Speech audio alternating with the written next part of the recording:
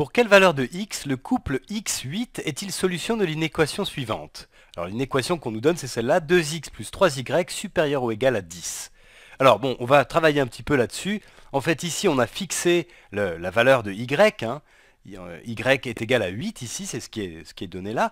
Donc on va travailler sur cette inéquation-là, mais en tenant compte du fait qu'on a y égale 8. Alors je vais réécrire en remplaçant y par 8. Donc j'ai 2x plus 3y. Alors 3 fois y, ici ça sera 3 fois 8, c'est-à-dire 24. Donc 2x plus 24 doit être supérieur ou égal à 10. Voilà. Et puis bon, ben là je vais soustraire 24 des deux côtés. Donc je vais avoir 2x plus 24 moins 24, c'est-à-dire 2x, qui va être supérieur ou égal à 10 moins 24. 10 moins 24. Alors ça, ça me donne 2x supérieur ou égal à 10 moins 24, 10 moins 24, ça fait moins 14. Moins 14. Et donc, ben maintenant pour continuer à isoler x, je vais diviser par 2. Je vais diviser par 2, donc j'obtiens 2x sur 2, 2x hein. sur 2 qui est supérieur ou égal à moins 14 sur 2. Moins 14 sur 2. Alors là, l'ordre n'a pas changé puisque j'ai divisé par un nombre positif, donc ça ne change rien à l'ordre. Et donc je trouve finalement que alors 2x sur 2, c'est x qui est supérieur ou égal à moins 7. x supérieur ou égal à moins 7, c'est ce qu'on trouve finalement.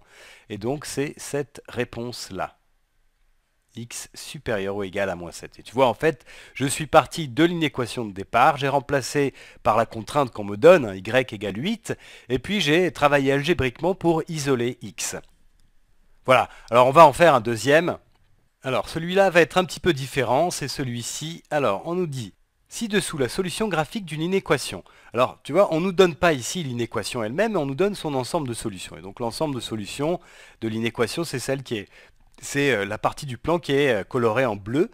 Et alors ce qui est important de comprendre, c'est que la, la frontière, hein, c'est cette droite-là, elle est euh, pointillée, elle est représentée en pointillé, ce qui veut dire qu'elle ne fait pas partie de l'ensemble des solutions. Donc en fait, en fait l'inéquation dont on est parti, qu'on a représentée ici, c'est une inéquation stricte, hein, puisque la frontière n'est pas incluse dans les solutions.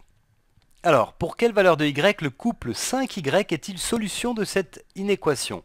Alors, Contrairement à tout à l'heure, ce qu'on nous donne ici, ce n'est pas une contrainte sur la variable y, mais c'est une contrainte sur la variable x. Hein. On nous dit que x est égal à 5. Donc on va se placer dans le repère, on va regarder pour... On va se mettre à x égale à 5, donc je vais, tracer la droite. Hein. La droite i5 c'est ici. Donc la droite d'équation x égale 5 hein, sont tous les points d'abscisse 5. Voilà. Je les représente ici c'est cette droite-là. Alors maintenant, ce qu'on doit faire, en fait, c'est trouver sur cette droite tous les points qui vont être situés dans la région colorée en bleu, qui, est l'ensemble des solutions. Hein.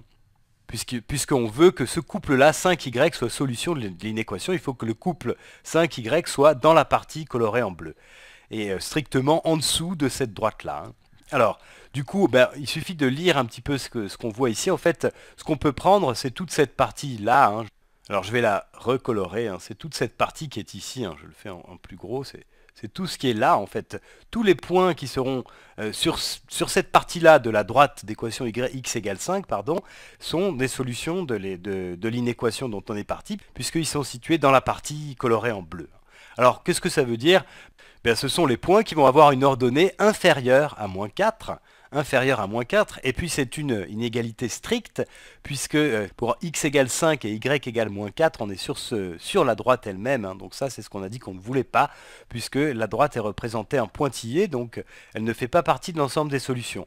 Donc finalement, les valeurs de y qui seront bonnes, c'est-à-dire pour lesquelles ce couple-là 5y est solution de l'inéquation, eh bien c'est celles pour lesquelles y sera strictement inférieur à moins 4, ce qui est ici strictement inférieur à moins 4.